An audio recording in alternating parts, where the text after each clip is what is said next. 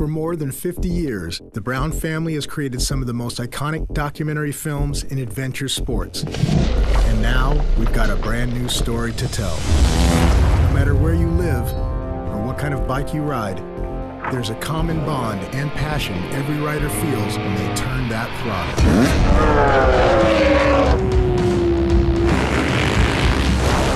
It doesn't matter if you're big time dude or the average Joe, your love is in that bike. My only memories are racing a motorcycle. I don't remember anything else. Every time that I'm riding, if I'm not pushing it, I'm not having that much fun. If I wasn't here doing this right now, I'd be somewhere else frustrated. Hands down, in my opinion, this is the gnarliest sport in the world.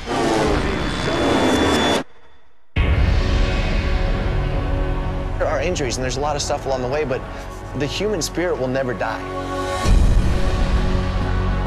The hero in my life is a motorcycle. It's given me a passport to travel around the world and to see exotic places. Something about being a true motorcyclist, You're doing something that you love, and it creates these really good friendships and bonds. The bikes are pieces, but sometimes it feels like it has some life in it.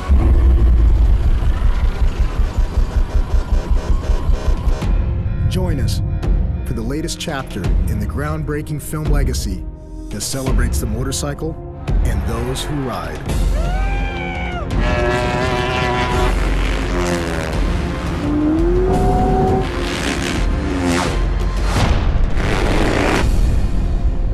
It's a disease, and once you have it, it doesn't leave your body ever.